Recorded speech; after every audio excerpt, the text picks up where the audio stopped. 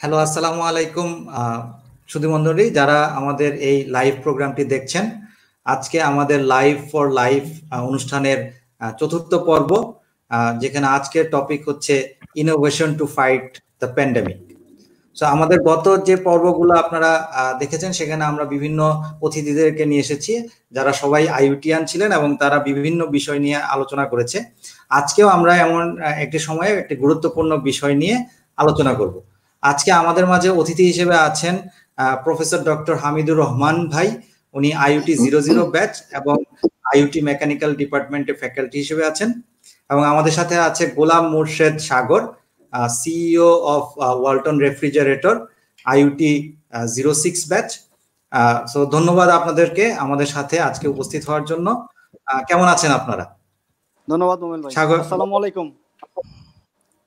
ওয়ালাইকুম সালাম। হামিদ ভাই কেমন আছেন? জি আসসালামু আলাইকুম সবাইকে যারা দেখছেন তাদের আমার পক্ষ থেকে শুভেচ্ছা আর মোমেলকে স্পেশাল থ্যাঙ্কস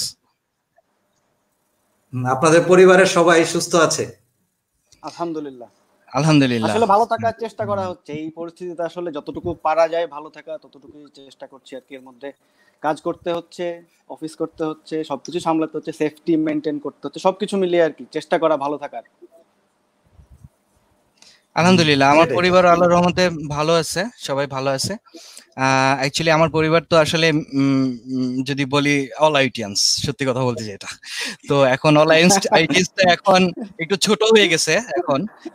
ক্যাম্পাসের ভিতরে যেটা আছে এরা এখন মনে করা যায় যে মানে ছোট একটা পরিবার আমার। সো আলহামদুলিল্লাহ ক্যাম্পাসে আমরা যারা আছি সবাই খুব ভালো আছে আল্লাহর রহমতে। আপনাদের সবার দোয়ায়। এবং আশা করি আপনারা যে যেখানে আছেন সবাই ভালো আছেন।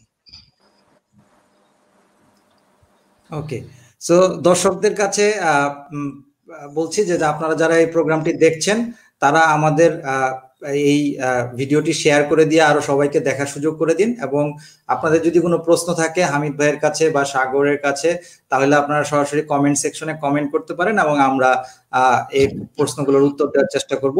এবং এই সাথে জানিয়ে রাখছি যে, আমাদের আইউটি অ্যালামনাই অ্যাসোসিয়েশন করোনা ক্রাইসিসটাকে ফাইট করার জন্য আমরা কিছু ফান্ড রেজিং করছি আমাদের একটি করোনা ক্রাইসিস ফান্ড আছে এবং একটি জাকাত ফান্ড আছে। তো আমরা এখনও সেখানে ফান্ড কালেক্ট করছি।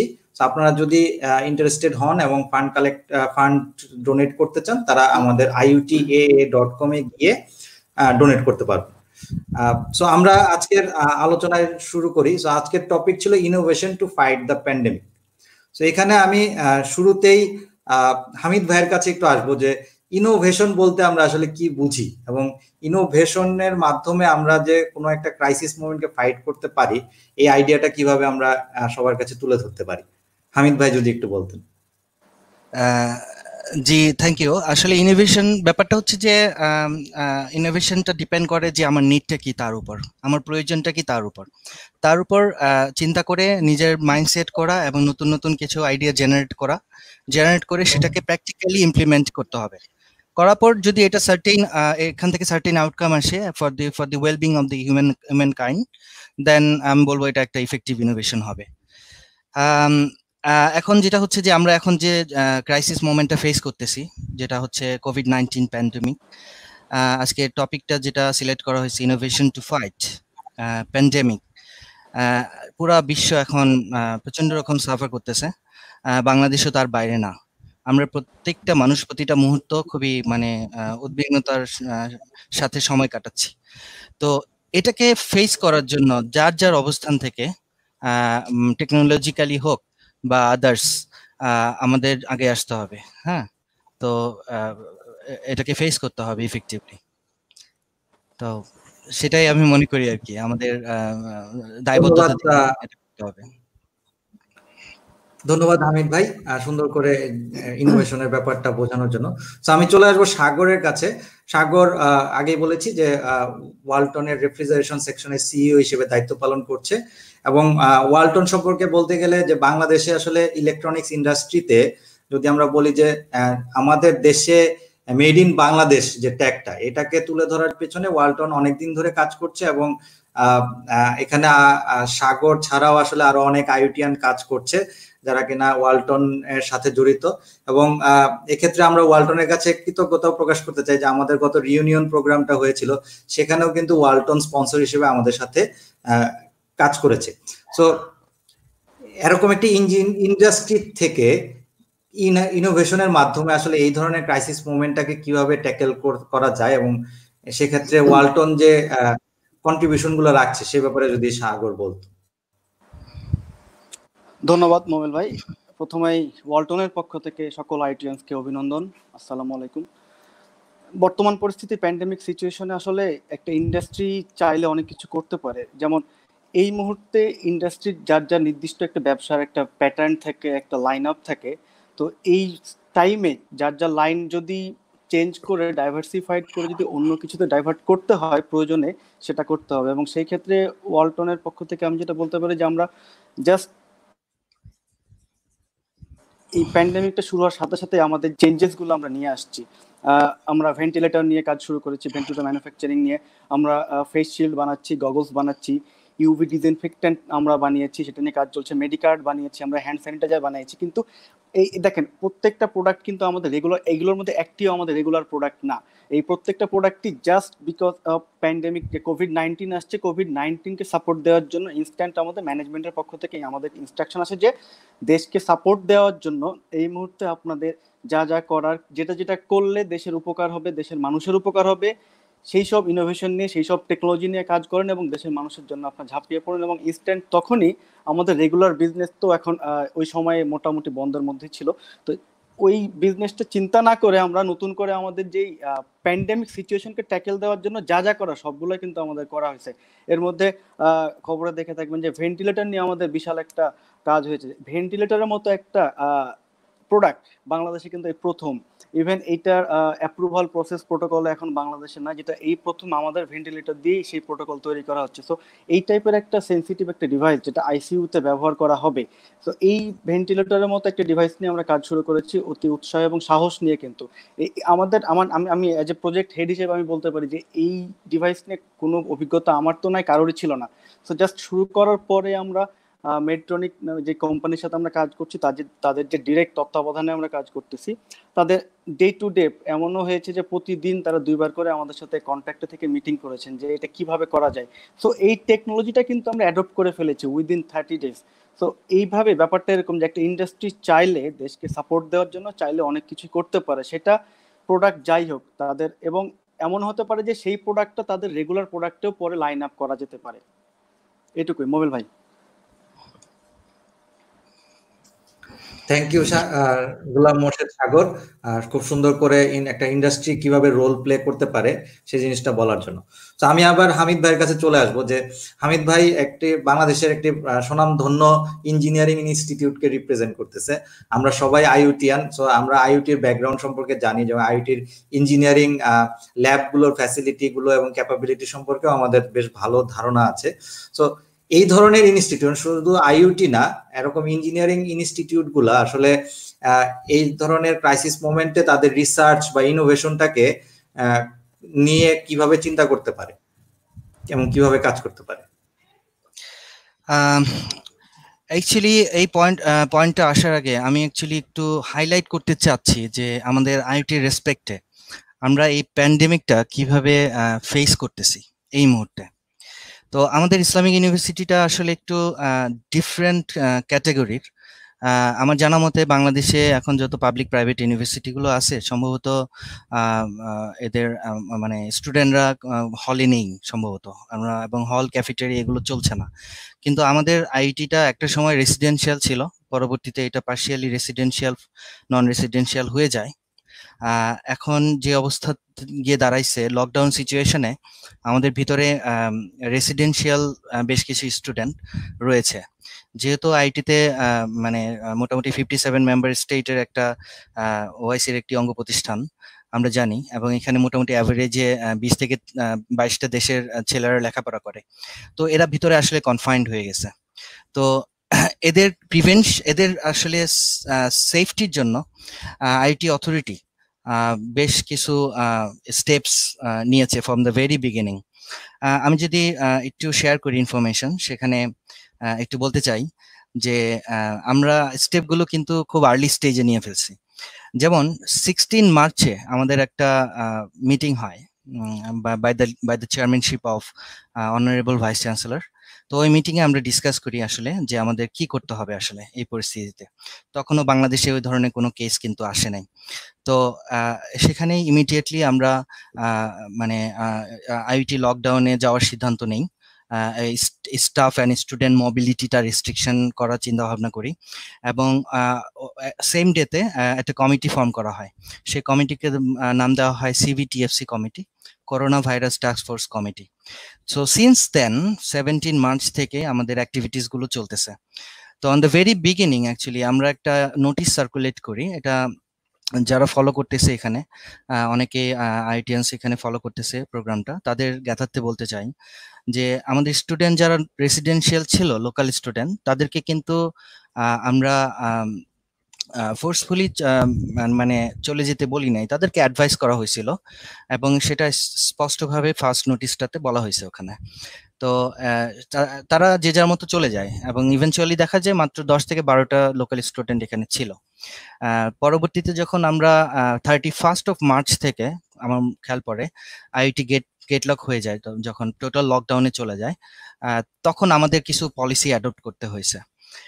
পলিসি অ্যাডপ্ট করতে হয়েছে মানে বিভিন্ন ক্ষেত্রে, যেমন বাইরে থেকে যারা আসবে তাদের ক্ষেত্রে আমরা কি করব, তাদের অ্যালাউ করব কিনা বা ভিতর থেকে যারা বাইরে যাওয়ার চেষ্টা করবে বা যাবে, তাদের ক্ষেত্রে কি করব এই ধরনের অনেক ধরনের রুলস রেগুলেশনস আমরা করেছি। করার পর আমরা এখানে যেটা করতেছি ভেতরে লকডাউন থেকে থার্টি ফার্স্ট মার্চ থেকে আমরা এখানে আমাদের সবগুলো ডিপার্টমেন্টগুলো কিন্তু ফাংশনাল যেমন halls of residence male female cafeteria male female সবগুলো কিন্তু চলতেছে। এখানে টোটাল চারশো, সাড়ে চারশো পপুলেশনস আছে ইনক্লুডিং স্টাফস অ্যান্ড স্টুডেন্টস এদের তিন বেলা খাবারের ব্যবস্থা করা হচ্ছে এবং এই খাবারগুলোর যে র মেটেরিয়ালসগুলো সেগুলো কিন্তু আনতে হচ্ছে আমাদের হ্যাঁ ফ্রিকুয়েন্ট ইন্টারভালে তো এটাও আমাদের জন্য একটা চ্যালেঞ্জের ব্যাপার যেহেতু এর জন্য কিছুটা গেট লক মানে গেট মাই আইটি মেইন গেটটাকে একটু রিল্যাক্স করতে হচ্ছে। এবং তখন আমরা চিন্তা করতে থাকলাম যে আমাদের কমিটি যে কীভাবে এই যে যে মুভমেন্টটা যে মিনিমাম লেভেলের যে মুভমেন্টটা এটাকে কীভাবে আমরা মানে এনশিওর করতে পারি যে মানে এই ইনফেকশনটা আমাদের ক্যাম্পাসে রিচ করবে না। তখন আমরা বিভিন্ন ধরনের চিন্তা ভাবনা থেকেই চিন্তা করলাম যে একটা টোটাল প্যাকেজ ইন্ট্রোডিউস করতে হবে ইন টার্মস অফ টেকনোলজি তো প্যাকেজটা কি? আমাদের মেইন গেটে আমরা যে জিনিসগুলো ফেস করতেছি সেটা হচ্ছে যে ডেলিভারি ভ্যানগুলো আসতেছে, যে গাড়িগুলো আসতেছে। সেগুলো বাইরে থেকে আসতেছে এবং সেগুলোকে পুরোপুরিভাবে ডিসইনফেক্ট করতে হবে। তারপরে আমাদের কিছু স্টাফ আছে যারা এখানে গ্রাউন্ড স্টাফ তারা বাইরে থাকেন ম্যাক্সিমামই লোকালি তারা মুভমেন্ট করতেছে, তাদেরকে আসতে দিতে হবে কারণ ক্যাফেটেরিয়াটা ফাংশনাল রাখতে হবে। তো এটা হচ্ছে সিক্সটিন থেকে থার্টি ফার্স্ট মার্চ পর্যন্ত। তো তারা আসে যে আসবে তাদের ডিসইনফেকশনের জন্য কি করা যায়? তখন আমরা, আমার খেয়াল পরে সতেরো তারিখে আমি এবং আমাদের যে ইলেকট্রিক্যাল ডিপার্টমেন্টের মাসুদ ভাই এবং আমাদের এখানে যারা গ্রাউন্ড স্টাফ আছেন, তাদের তত্ত্বাবধানে সবার সহযোগিতায় আমরা ফার্স্ট টাইম আমরা ইন্ট্রোডিউস করি একটা ডিসইনফেকশন চেম্বার তো এই চেম্বারের মাধ্যমে একটা হিউম্যান বডি ডিসইনফেকশন করে তাদেরকে ক্যাম্পাসে ঢুকতে দেওয়া হয়েছে। এটা কন্টিনিউয়াসলি প্রায় টু টু উইকসের মতো চলছে। যখন দেখলাম যে প্যান্ডেমিকটা আরও খারাপ দিকে মানে ইয়ে করছে টার্ন করতেছে তখন আমরা দেখলাম যে না এখন এই স্টাফদের কীভাবে ভিতরে কনফাইন করা যায়? তখন এই লকডাউনের সিদ্ধান্তটা আসলো। তখন বিভিন্ন ডিপার্টমেন্টগুলো যেমন আমাদের এখানে অনেক ডিসইনফেকশন যে সিস্টেমটা আপনারা করেছিলেন। তো এটা আপনারা কত দিনের মধ্যে আর কি এস্টাবলিশ করলেন? এটা আমরা আমরা ষোলো তারিখে কমিটি ফর্ম হওয়ার পর সতেরো তারিখে আমি খুব এটা নিয়ে চিন্তা করার পর আঠারো তারিখে এটা এস্টাবলিশ করি। একবারে রাত দিন পরিশ্রম করে আমাদের যে মাসুদ ভাই, উনি ইলেকট্রিক্যাল সাইডটা দেখলেন আর আমি মেকানিক্যাল সাইডটা দেখলাম। বিষয়টা খুবই মানে মানে আসলে সিম্পল ইনোভেশন তেমন কিছু না। আমরা জানি কি করলে কি হবে না? নজেল লাগবে স্প্রে করতে হবে ডিসইনফেকশন সলিউশন লাগবে, এখানে সিলেকশনটা ইম্পর্টেন্ট কোন সলিউশনটা আমি দিব, যেটা হিউম্যান এরিটেশন করবে না। আচ্ছা এই এই টোটাল জিনিসটা উইদিন এ নাইট অ্যাকচুয়ালি আমরা আমি আমার খেয়াল পরে আমরা যে আমরা প্ল্যান করছিলাম আমরা স্কেচও করছিলাম কীভাবে করব। আমাদের নিজস্ব ক্যাপাসিটিতে আলহামদুলিল্লাহ আমাদের এখানে আবার মেকানিক্যাল ল্যাবটা ওপেন ছিল আমার এক্সেস আছে এখানে ওখানে আমরা কাজ করতে পারতেছি পারছি এখনও আছে এক্সেস ইলেকট্রিক্যাল ল্যাবটাও মাসুদ ভাইয়ের থ্রুতে আমরা ওটা অ্যাক্সেস করতে পারছি। তো টোটাল সিস্টেমটা আইওটির আইওটির কিন্তু একটা ক্যাপাবিলিটি আছে যে আপনি এক রাতের ভিতরে এরকম একটা ডিসইনফেকশন ইউনিট ক্রিয়েট বিল্ড করে ফেললেন। সো এরপরে আমরা আমার মনে হয় যে আমরা কিন্তু এই ধরনের ইউনিট আসলে আইওটিতেই ফার্স্ট দেখছি। তারপরে হয়তো সাত দিন দশ দিন পনেরো দিন পরে বিভিন্ন জায়গায় এই জিনিসগুলা সামনে আসতে শুরু করল যে হ্যাঁ বিভিন্ন ইন্ডাস্ট্রি এটাকে বাট আইওটিটা আমাদের কাছে মনে হয়েছে যে আমরা সবার শুরুতে দেখছিলাম। সো এবং এটা আমরা সবাই অ্যাপ্রিসিয়েটও করেছিলাম যে এই ইনিশিয়েটিভটা খুবই এক্সাম্পলারি একটা ইনিশিয়েটিভ ছিল। সো ইন্ডাস্ট্রিয়াল ডিসইনফেকশন এটা একটা মনে হয় হট টপিক হবে। যখন সবগুলো মানে অফিস মার্কেট এডুকেশনাল ইনস্টিটিউশন এগুলো খুলে যাবে। সব জায়গায় কিন্তু ম্যাসিভ আকারে এই ধরনের ডিসইনফেকশন ইউনিট লাগবে। সো ওয়ালটন বা এই ধরনের কোম্পানিগুলো কিন্তু এখানেও একটা ভালো অবদান রাখতে পারে। সো গোলাম মোর্শেদ সাগর যদি এই ব্যাপারে কিছু বলতে পারে। আসলে ডিসইনফেক্টেন্ট স্প্রে আমরা নিজেরাও চারটা ছয়টা বানিয়েছি। আমাদের ফ্যাক্টরির মানে ইনসাইড ইউজ করার জন্য। আমাদের লোক সংখ্যা ফ্যাক্টরির ভিতরে এখন তো লকডাউনের জন্য বন্ধ। যদি চালু করতে হয়, সেক্ষেত্রে আমাদের বারো হাজার এমপ্লয়ি আমাদের ফ্যাক্টরির ভিতরে কাজ করে। সেই ক্ষেত্রে প্রত্যেকটা, প্রত্যেকের, প্রত্যেকটা শেড বা ইউনিটের সামনে আমাদের এটা মানে এস্টাবলিশ করতে হবে যাতে প্রবলেমটা না হয়। যদি ফুল ফেজে চালু করতে। এখনও লকডাউনের কারণে এখন পর্যন্ত সবগুলো চালু করতে পারিনি, বন্ধ আছে। তো এইটার একটা যেটা প্রবলেম হবে যে ডিসইনফেক্টেন্টের সলিউশনটা নিয়ে হামিদ ভাই যেটা বলেছেন আর কি, যে আসলে এই সলিউশনটা হিউম্যান বডির জন্য কতটুকু ভালো এবং এইটার ক্লিয়ার গাইডলাইন আসলে কোথাও পাওয়া যাচ্ছে না। ডাব্লিউএইচও থেকে যেটা বলতেছে যে এই টাইপের ডিসইনফেক্টেন্ট ব্যবহার না করার জন্য, আবার আর মানে যারা বানাচ্ছি আর কি আমরা, তারা আমাদের নিজেদের রিসার্চ টাকে কাজে লাগিয়ে কিন্তু বানাচ্ছে। এখানে স্ট্যান্ডার্ড বা ওয়ার্ল্ড ক্লাস কোন স্ট্যান্ডার্ড আমরা গাইডলাইন পাচ্ছি না। তারপরেও আমরা আমাদের দেশের প্রয়োজনে যতটুকু স্কিনের জন্য ভালো হয় সেই টাইপের সলিউশন ইউজ করে আমরা বানাচ্ছি। তো এটা কিন্তু আরেকটা, আরেক মানে ওয়ান কাইন্ড অফ ইনোভেশন যে স্ট্যান্ডার্ড কি আছে সেটা একটা ইস্যু আবার আমরা আমাদের টেকনোলজি আমাদের জ্ঞানটাকে কাজে লাগিয়ে কোন কেমিক্যালটা কোন কম্পোজিশনটা ইউজ করলে এই জিনিসটা আমাদের শরীরের জন্য সহনশীল হবে, সেটা কিন্তু আমরা বের করে ফেলছি। সেটা আইটি করতে পারে, আরও আদার্স অনেকগুলো প্রাইভেট সেক্টর আছে তারা এটা করেছে কিন্তু। সো এটা, এটাও বলা যেতে পারে যে, এই ডিসইনফেক্টেন্ট বুথ বা স্প্রে যেটা বলে, সেটা আর এক one kind of innovation so industrial দিক থেকে চিন্তা করলে এটা একটু একটু বড় ডিভাইস যার কারণে কমার্শিয়ালি হয়তো বা খুব একটা লাভবান না হলেও আমরা নিজেরাও কিছু বানিয়েছি এবং আমরা অন্যান্য যাদেরকে দেওয়ার মতো যদি হেল্প করা যায়, সেজন্য আমরা কিছু প্ল্যানিং করছি। যে আসলে এটা কমার্শিয়ালি না গিয়ে যদি আমরা হেল্প করতে পারি, সেটা খুব ভালো হয় আর কি। মোমেল ভাই। ধন্যবাদ। আমি হ্যাঁ, আমি যদি তো একটু আসতাম যে আইওটি যে এই যে আপনি যে বিষয়গুলো বলতেছিলেন তো আইওটির ওভারঅল এই সিনারিওতে অ্যাডমিনিস্ট্রেশন এবং আপনারা আসলে ফিউচার নিয়ে কীভাবে কাজ করছেন? যে কি কোন ধরনের প্ল্যান যদি থাকে আচ্ছা, আপনাদের? হ্যাঁ। এখন যেটা হচ্ছে যে সিবিটিএফসির কমিটির পক্ষ থেকে আমাদের একটা সিদ্ধান্ত হয়েছে যে পরিস্থিতি নর্মাল বা স্বাভাবিক না হওয়া পর্যন্ত সত্যি কথা বলতে যেটা আমরা লকডাউনটা কন্টিনিউ করব। ফর দ্য সেক অফ মানে health safety of our own students এখন যেটা হলো যে, এই হেলথ রিস্ক নেওয়া যাবে না। কোনো রকম রিস্ক নেওয়া যাবে না। এখানে কোনো কম্প্রোমাইজ করা যাবে না। এটা হলো আমাদের কমিটির সিদ্ধান্ত। আমাদের কমিটির সিদ্ধান্ত আমরা তো অ্যাডমিনিস্ট্রেশনে বলেই দিছি। এখন অ্যাডমিনিস্ট্রেশন আমি যেটা জানি যে অনলাইন ক্লাসের ব্যাপারে যাচ্ছে। সো ক্লাস অনলাইন ক্লাসের ব্যাপারটা একটা হয়তো অ্যাডমিনিস্ট্রেটিভ অর্ডার চলে আসবে খুব শীঘ্রই। ইনশাল্লাহ আমরা অনলাইনে ক্লাসের মাধ্যমে আমরা একাডেমিক সেশনগুলো কন্টিনিউ করতে পারব। সেদিক থেকে কোনো প্রবলেম হবে না আশা করি আমাদের। হ্যাঁ মোমেল আচ্ছা ধন্যবাদ। হামিদ ভাই। সো আমরা যদি বলি যে ইনোভেশন জিনিসটা সবসময় যে সাগর বলতেছিল যে ভেন্টিলেটরের কথা। সো ভেন্টিলেটরটা অনেকটা অনেক বড় একটা প্রজেক্ট সারা বিশ্বে আসলে হয়তো খুব কম কোম্পানি আসলে ভেন্টিলেটর নিয়ে কাজ করে।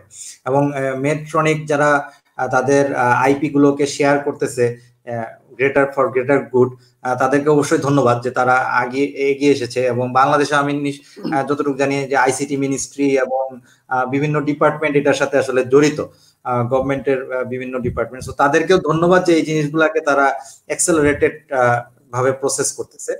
বাট আমার কাছে একটা জিনিস সবসময় মনে হয় যে যখনই এই যে জীবনযাত্রা আমরা স্বাভাবিক করার প্রশ্ন আসতেছে তখনই কিন্তু আসলে ছোট ছোট ইনোভেশন ইনোভেশন গুলাও কিন্তু ইম্পর্টেন্ট হয়ে যাবে।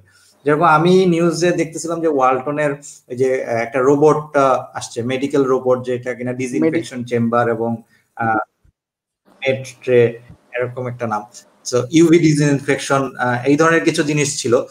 এই ধরনের ছোট ছোট ইনোভেশনগুলো কিন্তু আসলে খুবই ইম্পর্টেন্ট সো এগুলা সম্পর্কে যদি সাগর কিছু জানাইতো এবং ইয়াং যারা আছে ইঞ্জিনিয়ার আছে, তারাও কিন্তু এই ধরনের জিনিসগুলোতে তারা নিজেরাও কিন্তু কন্ট্রিবিউট করতে পারে। যারা আইটিতে এখন পড়ছে, তারাও নিজেরা করতে পারে। সো এই ব্যাপারটা যদি সাগর একটু হাইলাইট করে, তাহলে মনে হয় ভালো শিওর মোবাইল ভাই অ্যাকচুয়ালি ভেন্টিলেটর প্রজেক্টের শুরুটাই হয়েছে আইসিটি মিনিস্ট্রির থ্রুতে ধন্যবাদ আইসিটি মিনিস্ট্রিকে মাননীয় প্রতিমন্ত্রীর মধ্যে ওনার একক উদ্যোগেই কাজটা শুরু হয়েছে, সেখান থেকে আমাদের পথ চলা। আর ভেন্টিলেটর যেহেতু বড় একটা প্রজেক্ট এর পরপরই আমরা চিন্তা করলাম যে এই বড় প্রজেক্টের পাশাপাশি আর ছোট কি কি করা যায়। আর ইয়াং ইঞ্জিনিয়ারদের কথা যেহেতু আসছেই যারা এই ডিসইনফেক্টেন্ট ইউভি লাইট দিয়ে ডিসইনফেক্টেন্ট তৈরি করা মেডিকার্ড তৈরি করা, এই টাইপের কাজগুলো যারা করেছেন, তারাও আমাদের এখানে সদ্য পাশ করা, এক বা দুই বছরের অভিজ্ঞতা বা তিন বছরের অভিজ্ঞতা, এরা কিন্তু ম্যাক্সিমাম এখানে জুনিয়র জুনিয়র চ্যাম্প বলতে পারি যে এদের মাধ্যমে কিন্তু এই প্রোডাক্টগুলো আসছে। ইউভি ডিসইনফেক্টেন্ট বলি আর মেডিকার্ড বলি। মেডিকার্ডটা ইউভি ডিসইনফেক্টেন্ট জাস্ট ভেন্টিলেটরের পাশাপাশি একটা প্রজেক্ট ছিল যারা আরেকটা উইং আমাদের কাজ করছিলেন এবং সফলতার সাথেই কয়েকটা হসপিটালে টেস্টিং এর পর রেজাল্ট চলে আসছে এবং আমরা ডিজিডিএ থেকে অ্যাপ্রুভালও পেয়ে গিয়েছি। সো এটা নিয়ে আমরা কমার্শিয়ালি চিন্তা করছি কীভাবে আগানো যায় এটা একটা প্রোডাক্ট হিসেবে। আর আইটিএসদের জন্য যেটা বলতে হবে যে ইনোভেশনের আসলে কোনো ধরা বাঁধা নিয়ম নাই। আমরা যদি তিনটা বিপ্লব চিন্তা করি এর আগে, সতেরো শতকে ছিল আপনার স্টিম ইঞ্জিন আঠারো শতকে ছিল ইলেকট্রিসিটি উনিশ শতকে ইন্টারনেট এবং কাকতালীয়ভাবে বিশ শতকে এই যে এখন যে একটা বিপ্লব, আমরা একটা ডিজিটাল বিপ্লব বলতে পারি। এই বিপ্লব দিয়ে কিন্তু সবকিছু নতুনভাবে আসতেছে। তো কম ক্রমান্বয়ে তিন নম্বরের পরে চার নম্বর বিপ্লবটা কিন্তু এখন চলছে, যেটা কিনা আমরা কোভিড নাইন্টিনের কারণে। হয়তো বা কোভিড নাইন্টিনে খারাপ হচ্ছে বা এটা অস্বীকার করার কোনো উপায় নাই যে অনেকের ক্ষতি হচ্ছে দেশের ক্ষতি হচ্ছে ইকোনমি কলাপস হয়ে যাচ্ছে। কিন্তু এরপরে যে বিপ্লবটা আসতেছে ডিজিটাল বিপ্লব, এটাও অস্বীকার করার কোনো উপায় নাই। তো সো এই প্রয়োজন থেকে যে যে কোনো ইঞ্জিনিয়ার বা যারা টেকনিক্যালি চিন্তা ভাবনা করেন, তারা এমন না যে ইন্ডাস্ট্রিতেই চাকরি করতে গিয়ে জব করতে গিয়ে চিন্তা করতে হবে। যে যেখানে আছে, যার যেটা অবস্থান, যার ব্রেনে যার ইনোভেশন থটে যতটুকু কুলায় যে যেরকম ভাবে চিন্তা করলে আসলে দেশের জন্য উপকার হয়, সেই টাইপের ইনোভেশন নিয়ে যে কেউই কাজ করতে পারে। এবং সেটা যদি রিকগনাইজড এর কোনো ইস্যু থাকে, সেক্ষেত্রে আমি ওয়ালটনের পক্ষ থেকে বলতেছি যে, আইটিয়ান্স যদি তারা এভাবে চিন্তা করে থাকে ইনোভেশন নিয়ে, সেটা অবশ্যই আমরা ওয়েলকাম করব।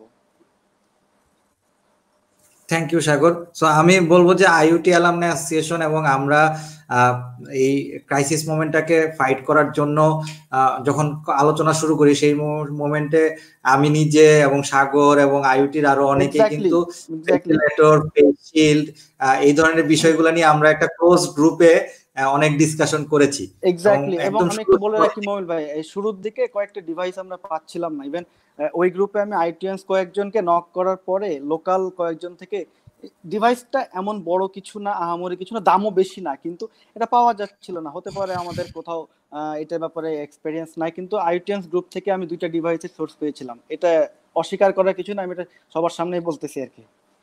হ্যাঁ হ্যাঁ থ্যাংক ইউ যারা মানে যারা এই ধরনের আমাদের গ্রুপগুলোতে ছিলেন তারা যদি কেউ ভিডিওটা দেখে তারা তাদেরকে আমি বলব যে আমরা হয়তো ওইখান থেকে বড় কোনো ইনোভেশন এখনও আনতে পারি নাই বাট আমাদেরকে থেমে যাওয়া যাবে না।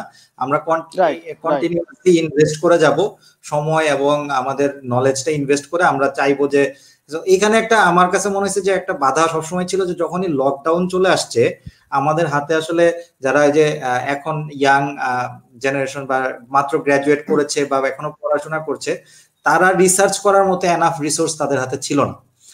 তারা বাসায় বসে হয়তো ইন্টারনেটে ঘাটাঘাটি করতেছে কারও কারও হয়তো থ্রি প্রিন্টারের কিছু অ্যাক্সেস ছিল। সো বাট ওভারঅল এই রিসোর্সটা আসলে অ্যাভেলেবল ছিল না। বাট এটা যদি হয়ে যায় তাহলে ইনশাল্লাহ হয়তো আরও বড় কন্ট্রিবিউশন আমরা ভালো কিছু হবে রাইট রাইট রাইট আমি একটু হামিদ ভাইয়ের কাছে আসব যে এই সাগরের সূত্র ধরে যে ইন্ডাস্ট্রিয়াল যে ছোট ইনোভেশনগুলো নিয়ে কথা বলছি তো স্টুডেন্টরা বা আইওটি এর মতো ইউনিভার্সিটির গ্র্যাজুয়েটরা বা যারা পোস্ট গ্রাজুয়েশন করছে বা পিএইচডি করছে, তারা যদি আসলে কোনো ইনোভেটিভ প্রোডাক্ট নিয়ে আসে এবং সেগুলা ইন্ডাস্ট্রি কোলাবোরেশনের যে ইম্পর্টেন্সটা সেটা একটু হাইলাইট করে যদি কিছু বলতেন হামিদ ভাই। অ্যাকচুয়ালি যেটা আমাদের মেইন প্রবলেমটা হচ্ছে কি? যে ইন্ডাস্ট্রিয়াল কোলাবোরেশনটা সত্যি কথা বলতে যে খুবই কম, আমাদের মতো থার্ড ওয়ার্ল্ড কান্ট্রিতে তো। এখানে ইন্ডাস্ট্রি রিসার্চকে প্রমোট করতে গেলে এই কোলাবোরেশনটা খুবই ইম্পর্টেন্ট আমরা বেসিক্যালি ইউনিভার্সিটি লেভেলে যে রিসার্চটা করি, তা mainly numerical based different technological engineering টপিকের উপর কাজ করি। তো ইন্ডাস্ট্রি লেভেলে কাজ করতে গেলে একাডেমিক্স এবং ইন্ডাস্ট্রিয়ালিস্ট এদের সাথে একটা কানেক্টিভিটি তৈরি করতে হবে যেটা আমি মনে করি প্রচণ্ড ল্যাকিংস আছে আমাদের। তো আশা করি যে ভবিষ্যতে এই ল্যাকিংসটা মানে মিনিমাইজ হবে এবং আমরা একসাথে কাজ করতে পারব ভবিষ্যতে। এটা খুবই ইম্পর্টেন্ট আমাদেরকে আগে যেতে হলে এই কাজটা খুবই জরুরি ভাবে করতে হবে। For for the future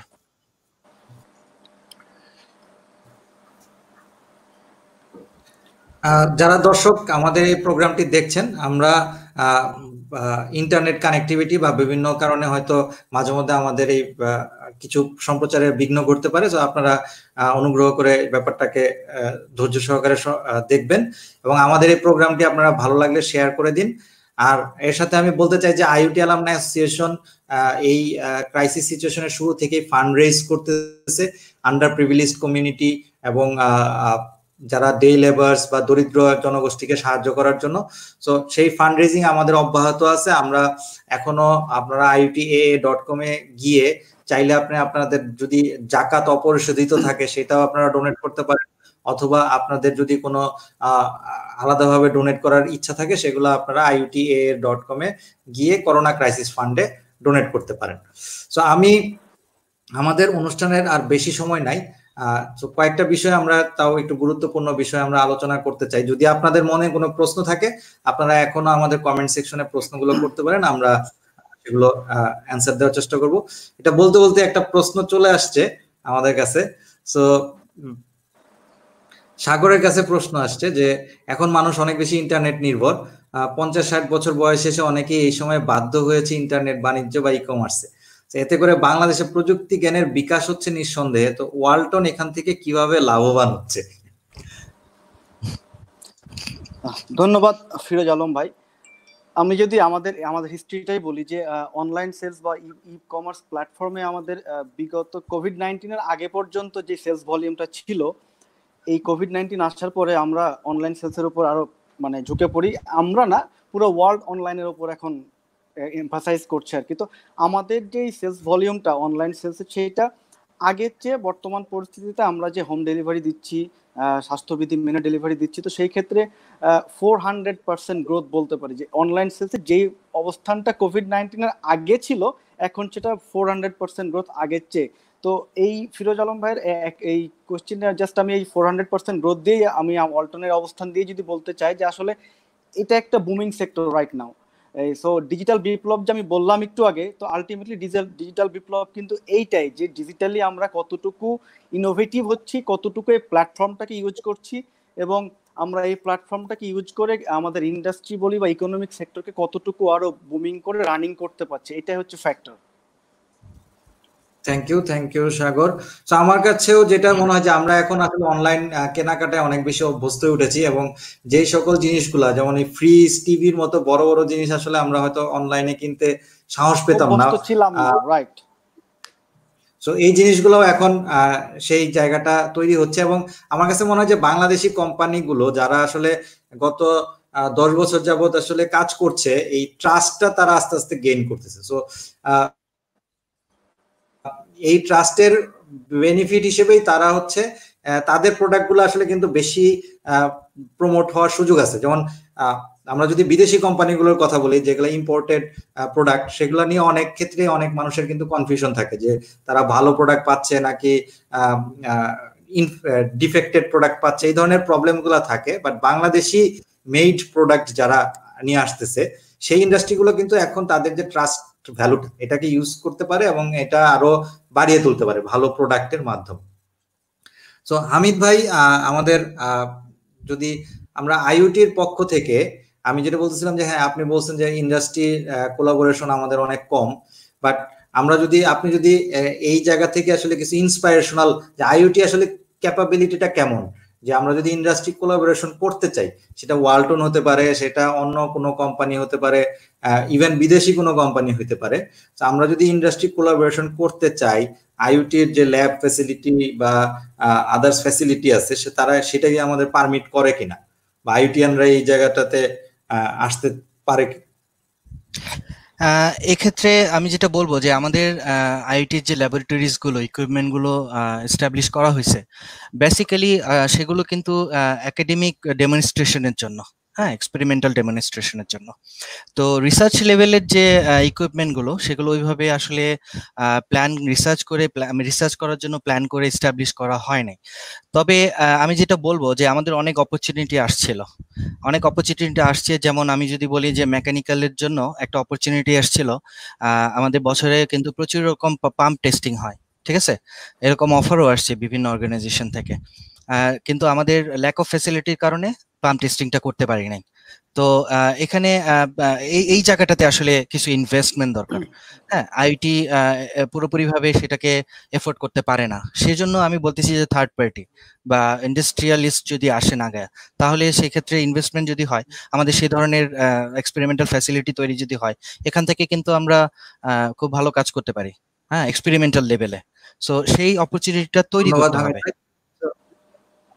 thank you তো সাগরের কাছে আসব যে সাগর আর আমি ওয়ালটনের আরও অনেকে আইউটিয়ান আছে তাদের মাধ্যমে কিছুটা হলেও জানি যে ওয়ালটনের বেশ ভালো একটি আর ডি ডিপার্টমেন্ট আছে এবং তারা সেখান থেকেও নতুন নতুন জিনিস নিয়ে আসে। সো আর ডি ডিপার্টমেন্টের গুরুত্ব নিয়ে যদি কিছু বলতে এবং তাদের আর ডি সেকশনটা নিয়ে যদি কিছু ইনফরমেশন শেয়ার করতে আসলে একটা ব্র্যান্ডের দুইটা ভাইটাল পার্ট থাকে। একটা হচ্ছে মার্কেটিং একটা হচ্ছে আর ডি আপনি যদি এই দুইটা পার্টকে অ্যাভয়েড করে অন্য কিছু চিন্তা করতে চান, তাহলে বিজনেসটা ফলো করবে, কোনো সন্দেহ নাই। এটা মার্কেটিং রুলস বলি বা কোম্পানি চালানোর জন্য ইন্ডাস্ট্রিয়াল কোনো পলিসি বলি এই দুইটা পার্ট মার্কেটিং মানে বিপণন এবং গবেষণা ছাড়া একটা কোম্পানি বা একটা ব্র্যান্ডের কোনো প্রোডাক্ট কখনো ভালোভাবে সাস্টেন করবে না।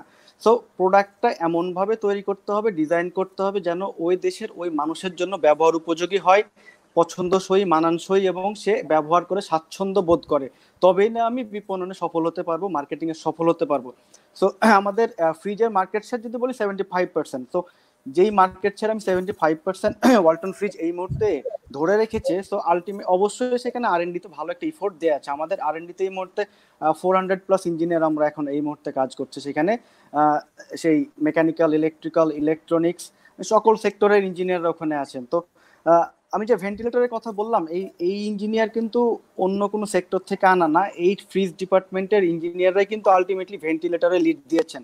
তো সো আর ডিটা আমাদের অনেক রিচ সো এই আর আমাদের চারশো জন ইঞ্জিনিয়ার প্রত্যেকে এক একটা সেক্টরে এক একভাবে তারা এই মুহূর্তে দক্ষতা অর্জন করেছে। শুরু থেকে ম্যাক্সিমাম ইঞ্জিনিয়ারে শুরু থেকে এখানে আছেন। আমার যেমন নয় বছর অতিক্রম হতে চলেছে, শুরু থেকে এভাবে আমার দেখা মতে যে, শুরু থেকে যে ইঞ্জিনিয়ারগুলো আছে, এখন পর্যন্ত তারাই কিন্তু ওয়ালটনকে লিড দিচ্ছে আলটিমেটলি বাংলাদেশকে লিড দিচ্ছে।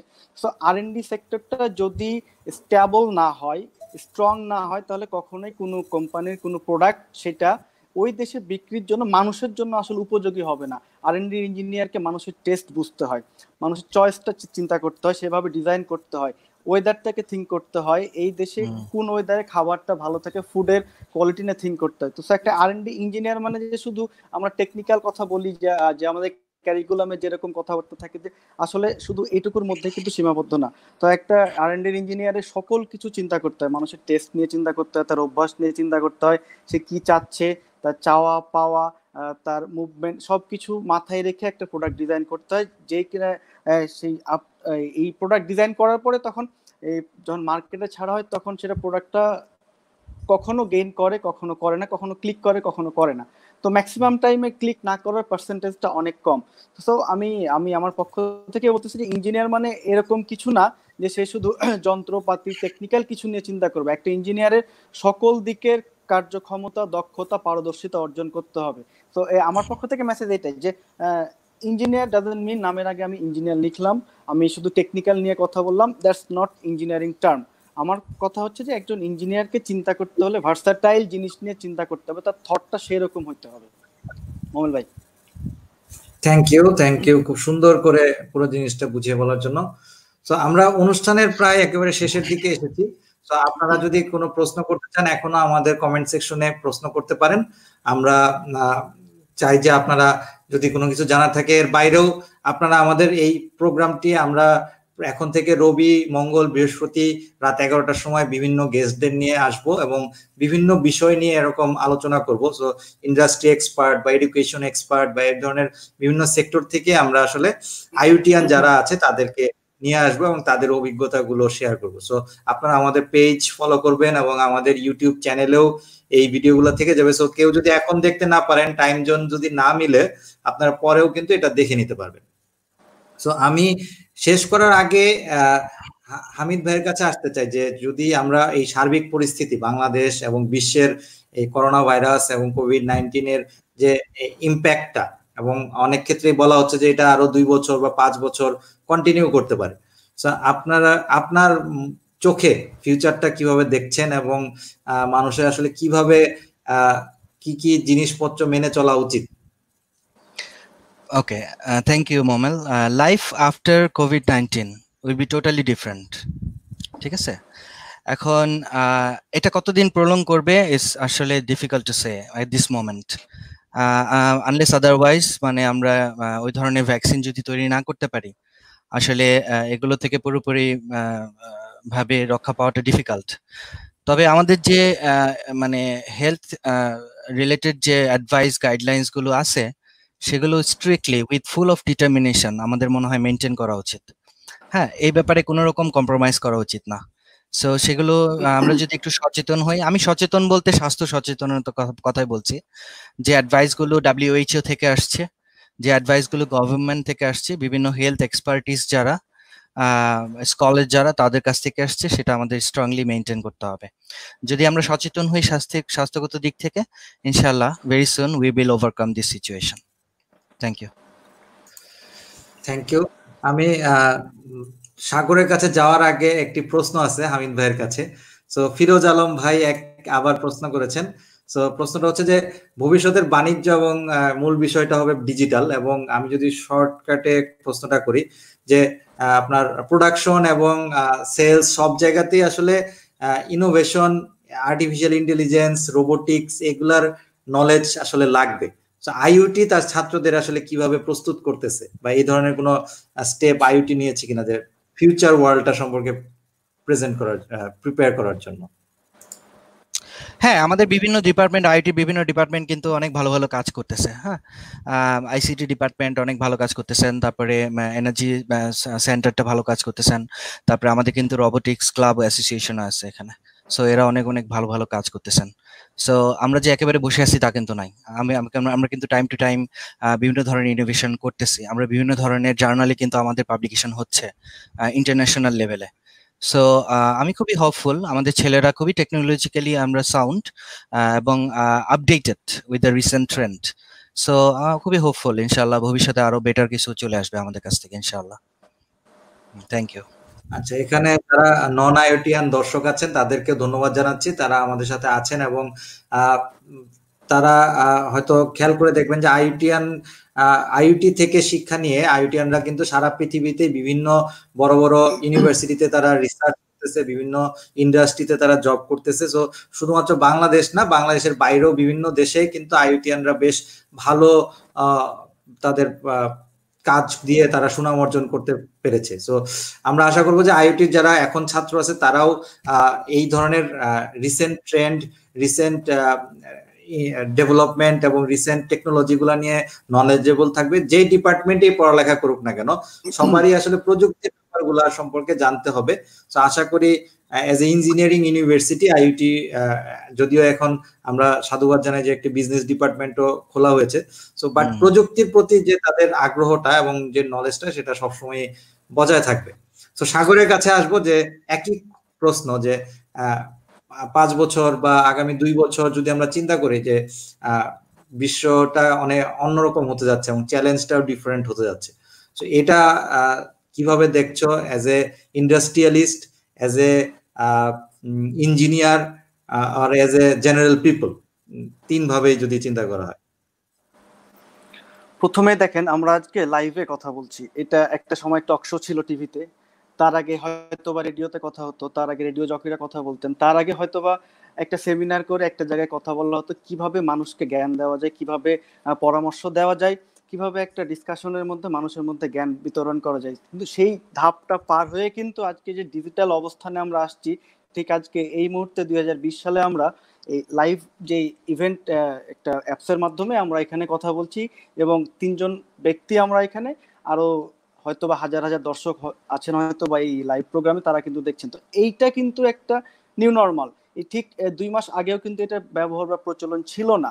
আমরা এখন জুমে মিটিং করি অফিস চালাই ওয়েবেক্স ইউজ করতে শিখেছি। ঠিক দুই মাস আগে, আমি আমার অভিজ্ঞতা বলি দুই মাস আগেও আমি জুম চিনতাম না, আমি ওয়েবেক্সের ব্যবহার জানতাম না। কিন্তু এই কোভিড নাইন্টিন এই প্যান্ডেমিক নতুন যে নিউ নর্মালের আমাদেরকে অভ্যস্ত হওয়ার জন্য অ্যাডপ্ট করার জন্য শিখাচ্ছে, সেটার মধ্যে এটা একটা অন্যতম জায়গা যে আমরা এই ডিজিটাল প্ল্যাটফর্মটাকে ইউজ করে নতুনভাবে সেটাকে অ্যাকসেপ্ট করে নিয়েছি।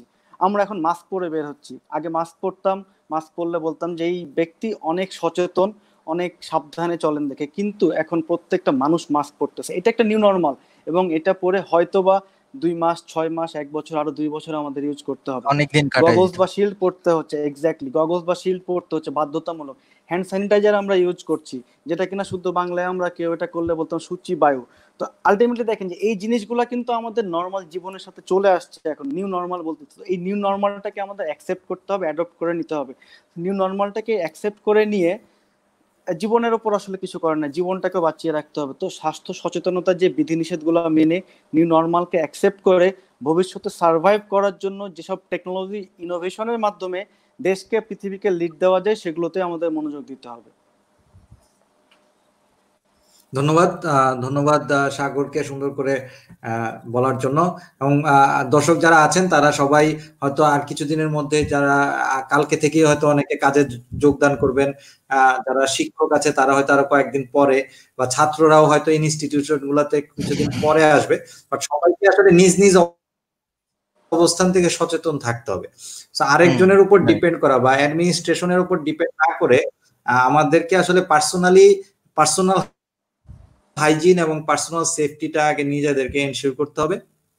তাহলেই আমরা আসলে কিছুটা সেফ থাকতে পারব।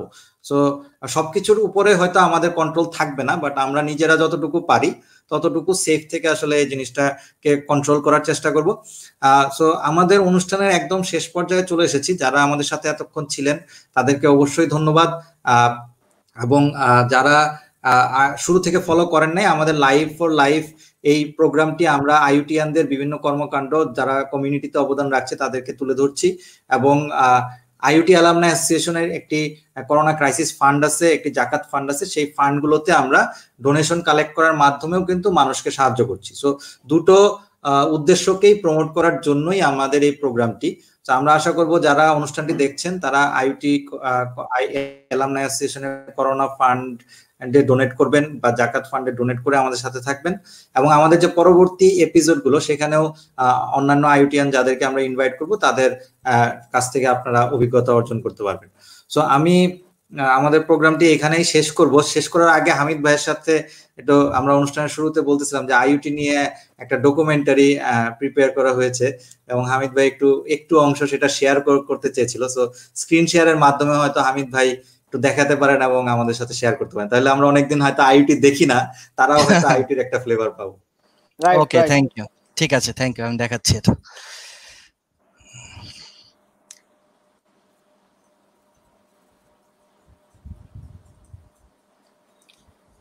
আমি ওই অডিওটা শেয়ার করছি না শুধু ভিডিওটা ঠিক আছে? আমি স্টেপে স্টেপে বলব আমরা কি করছি এখানে। জি জি ভাই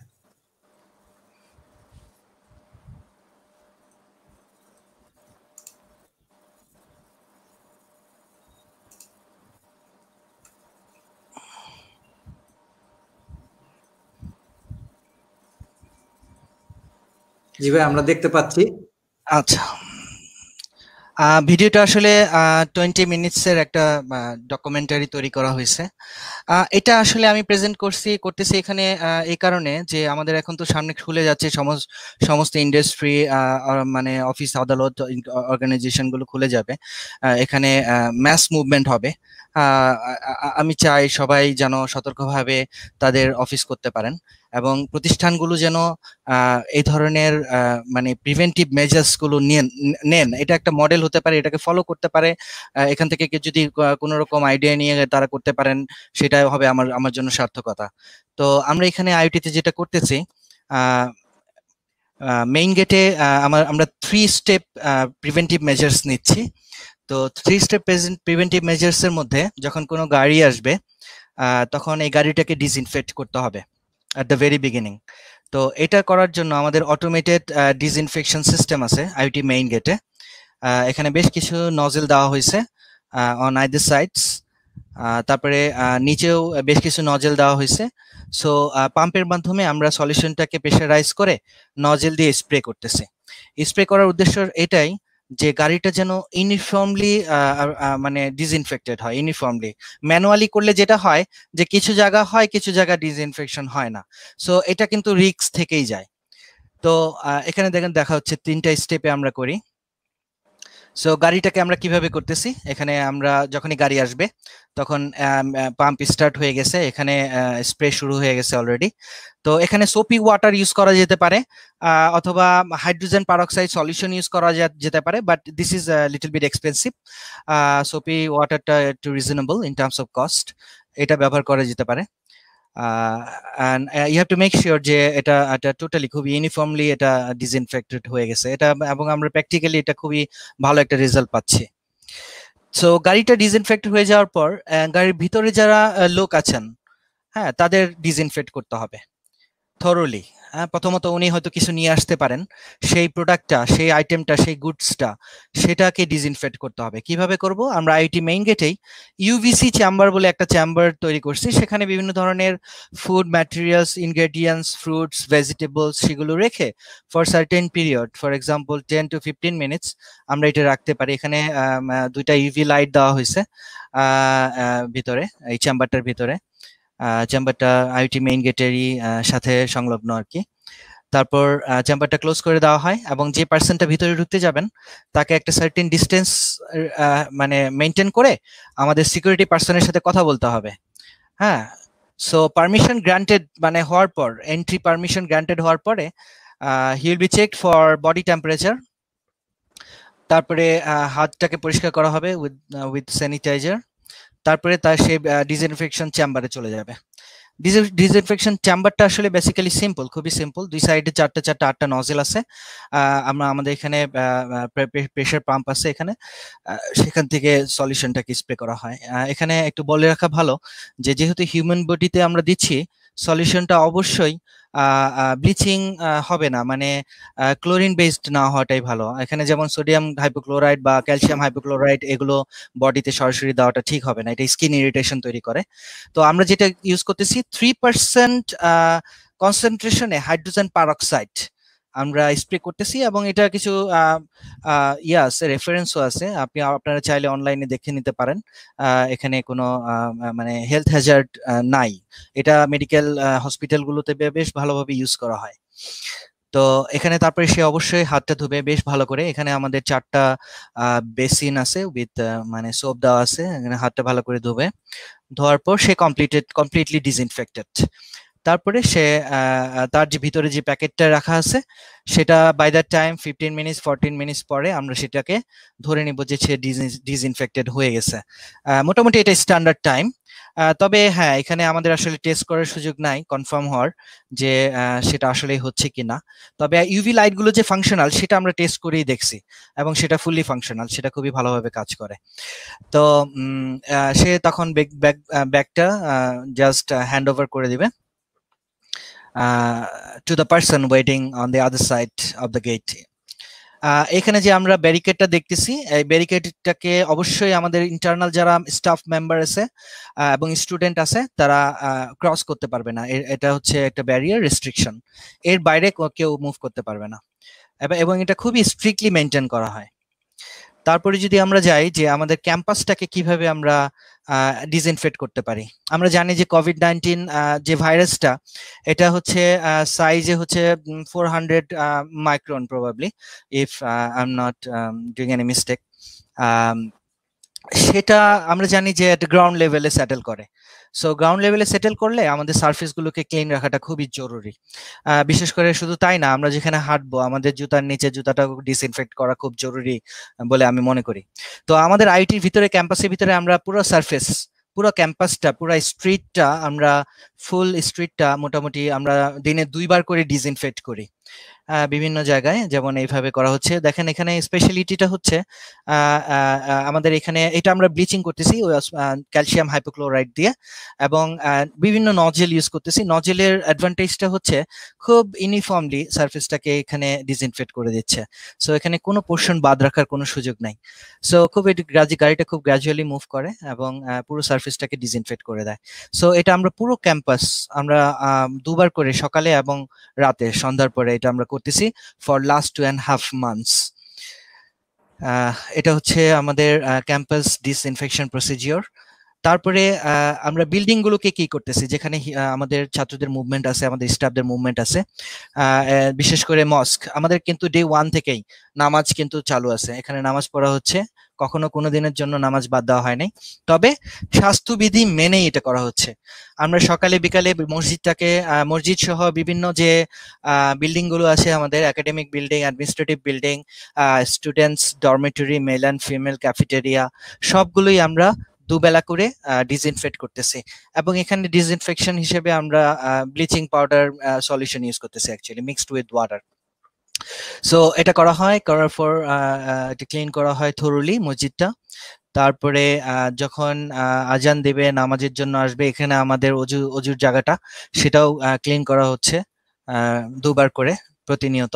এখানে হাত ধোয়ার সুব্যবস্থাও আছে যে অজু করতে আসবে, সে ইচ্ছা করলে এখানে সাবান দিয়ে হাত ধুয়ে পরিষ্কার হয়ে অজু করে তারপরে মসজিদের ভিতরে ঢুকতে পারবে। যেহেতু ওখানে একটা, এক ধরনের গ্যাদারিং হচ্ছে সো মসজিদটাতে আমরা এক্সট্রিম লেভেলের প্রিকশন নিচ্ছি। এটা পুরোপুরি ভাবে ক্লিন করা হয় দুবার, যেটা আমি বললাম। তারপরে অ্যাডিশনাল যেটা হচ্ছে যে, এখানে একটা যে, একটা ফুড বক্স আছে এখানে একটা উইথ সলিউশন এখানে উজু করার পর সে যখন কোনো মসজিদে কেউ নামাজ পড়তে যাবে, তখন তার অ্যাকচুয়ালি পাটা ওখানে একটু ভিজিয়ে নিতে হবে। এখানে আমরা হাইড্রোজেন পারঅক্সাইড সলিউশন ইউজ করতেছি, যাতে পায়ের জায়গাটা ফুডটা ডিসইনফেক্টেড হয়ে যায় টোটালি তারপরে আই থিঙ্ক মানে এই এই এই লোকটা, এই ছেলেটা পুরোপুরি ভাবে মানে ফ্রি অফ ইনফেকশন সো তারপরে সে সুন্দরভাবে নামাজ পড়ে নিজের কাজে চলে যেতে পারতেছে। সো এ ধরনের এটা আমাদের রেগুলার ডিউটি হয়ে গিয়ে দাঁড়াইছে। এখন আমরা একটু প্রতিদিন এই ধরনের কাজ আমরা করতেছি রেগুলার বেসিস আমরা দুই মাস আড়াই মাসের উপরে এই কাজগুলো করতেছি। এবং অসাধারণ সাপোর্ট পাচ্ছি আমাদের স্টুডেন্টদের কাছ থেকে আমাদের স্টাফদের কাছ থেকে। এখন এই মুহূর্তে আমরা যেহেতু লকডাউন কন্ডিশনে আছি ষাট জনের মতো স্টাফ মেম্বার বিভিন্ন সার্ভিস ডিপার্টমেন্ট এবং অফিসে কন্টিনিউয়াস সাপোর্ট দিয়ে যাচ্ছে। আমাদের ক্যাফেটেরিয়া ফাংশনাল আমাদের engineering service department functional Amit ভাই আপনাকে ধন্যবাদ অসাধারণ একটি ভিডিও দেখানোর জন্য। আমার মনে হয় যে এই ভিডিওটা আপনারা পরবর্তীতে যদি সবার সাথে উন্মুক্ত ভাবে শেয়ার করে দেন তাহলে যেটা হবে যে আমরা একটা কিন্তু কমপ্লিট প্রসেস জেনে গেলাম যে একটা ইউনিভার্সিটি বা একটা ক্যাম্পাস ভিডিওটা আপলোড করা যায় কিনা?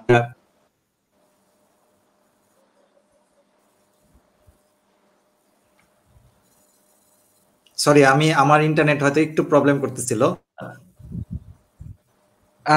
ভিডিওটা হ্যাঁ আমি এটা অবশ্যই পাচ্ছেন? হ্যাঁ আমি শুনতে পারছি। আমি শুনতে পাচ্ছি। হ্যালো হ্যাঁ ঠিক আছে। হ্যাঁ, হ্যাঁ শোনা যাচ্ছে। হ্যাঁ, আমার মনে হয় যে ইন্টারনেটে একটু সমস্যা করতেছে। আমি আজকে আর আপনাদেরকে আটকে রাখব না। অসংখ্য ধন্যবাদ আমাদের সাথে থাকার জন্য এবং আশা করি আপনারা সবাই সুস্থ থাকবেন এবং যারা অনুষ্ঠানটি দেখেছেন তাদের সবাইকে ধন্যবাদ। ধন্যবাদ হামিদ ভাই ধন্যবাদ গোলাম মোর্শেদ সাগর। হয়তো আমরা অন্য কোনো প্রোগ্রামে আবার সবার সাথে দেখা করব ধন্যবাদ মোমেল ভাইকে, ধন্যবাদ IUT alumni long live IUTians long live IUTians brotherhood ধন্যবাদ আপনাদের সবাইকে যারা এতক্ষণ দেখলেন। আইটিয়ান্স অ্যালামনা অ্যাসোসিয়েশনকে স্পেশাল থ্যাঙ্কস এই ধরনের উদ্যোগ নেওয়ার জন্য অবশ্যই। আর আপনাদের সবার জন্য একটু বলব প্লিজ স্বাস্থ্য সচেতন হন মাস্কটা পরেন হাতটা একটু ধন বাস এতটুকুই। আপনারা সেফ থাকেন আমরা সবাই সেফ থাকি। Let us save the whole community adopt করে নি নিউ নরমালটাকে অ্যাকসেপ্ট করে নি দ্যাটস ইট আর কিছু না। এক্স্যাক্টলি এক্স্যাক্টলি এটাকে অ্যাডপ্ট করে নিতে হবে আমাদের। থ্যাংক ইউ থ্যাংক ইউ সবাইকে আমাদের সাথে থাকার জন্য। আমরা আশা করতেছি যে আবারও সবার সাথে দেখা হবে। এবং আমরা, আপনারা যারা আমাদের অনুষ্ঠানটি উপভোগ করলেন লাইভ ফর লাইভ আমাদের পরবর্তী এপিসোডগুলো দেখতে পারবেন আইওটি অ্যালামনাই অ্যাসোসিয়েশনের পেজে এবং আমাদের ইউটিউব চ্যানেলে সো যারা আগের পর্বগুলো দেখেননি, তারাও কিন্তু আমাদের ইউটিউব চ্যানেলে গিয়ে আগের পর্বগুলো দেখে ফেলতে পারেন। এবং পরবর্তী পর্বের জন্য আপনি সাবস্ক্রাইব করে রাখতে পারেন। আর আমাদের করোনা ক্রাইসিস ফান্ড এবং জাকাত ফান্ডে আপনারা ডোনেট করতে চাইলে আইউটি ডট কমে গিয়ে আপনারা